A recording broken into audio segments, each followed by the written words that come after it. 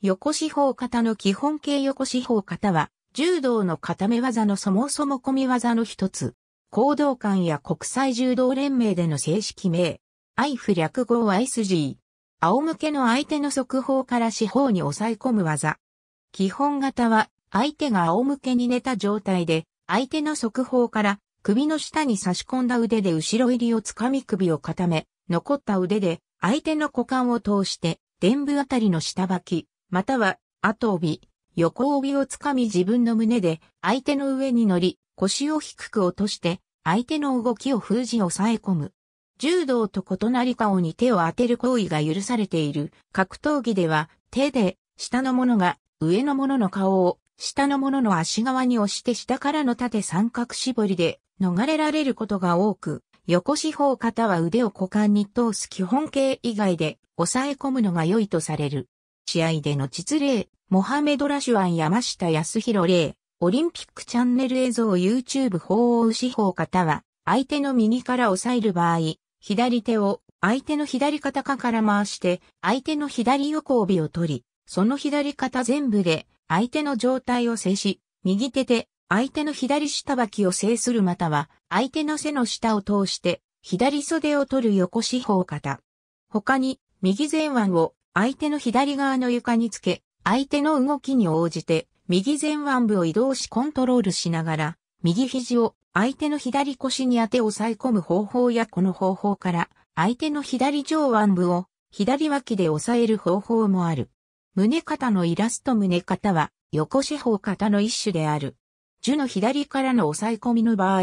右手で樹の右肩越しに後帯を取り、左腕で樹の右脇をすくって胸を合わせて押さえ込む。柏崎勝彦は横四方肩の基本は胸肩と考えていると述べている。理由として、樹の帯を持つことにより直接力が伝わり、樹の腰の動きをいくらか制することができるためだとしている。7大学柔道大会における胸頭肩胸頭、肩は鳥が樹の首と右脇を両腕で抱える左からの横四方肩。別名弁柄。肩そもそも肩は樹の右から樹の左腕を左液下に巻き込んで胸で押さえつけながら押さえ込む横四方肩。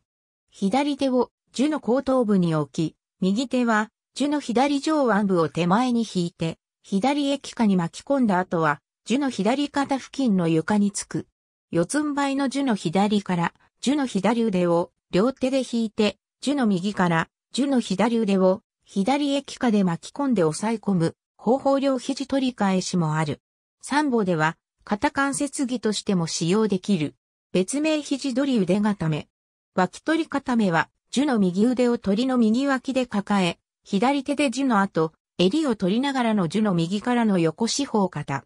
前裾取り横四方肩目は、左脇で相手の右腕を抱え、右腕を相手の胴の下を通して、右手で相手の上着の右裾をつかみ顎で、相手の右脇腹を押さえての横四方肩。ガブリの体勢から、左脇で相手の右腕を抱え、ハーフネルソンにし、右手で相手の右裾を掴んで左に横転して入ることが多い。マットヒューズポジションは相手の右から自身の足で相手の右腕、腕で相手の左腕を制しての横四方型。MMA では相手の頭部にパウンドや肘打ちを放つことが容易になる。マット・ヒューズの得意技。カスガロックと同形態のレスリングのエビ固めカスガロックは片腕で相手の頭部をもう一方の腕で自分側の相手の片足を抱え込んで両手を組んで相手をレスリングのエビ固めにしてのそもそも込み技。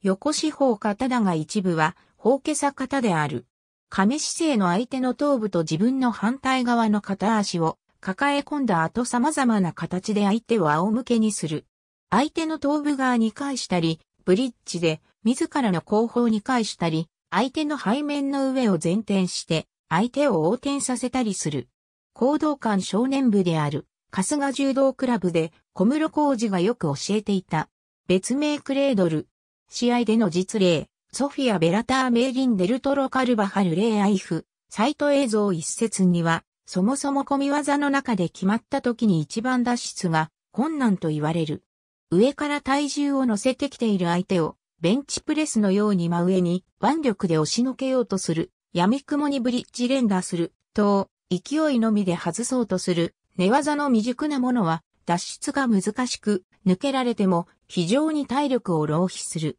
基本的な脱出の仕方としては、瞬間的なブリッジで数センチメートルでも浮かして、戻られる前に、エビで横にずれて、力の掛け合いを垂直方向から斜め方向へずらし、再度密着しようと追ってくる。相手の腰を手で制しつつ、相手側の膝を先に突っ込む、といった動きがある。ありがとうございます。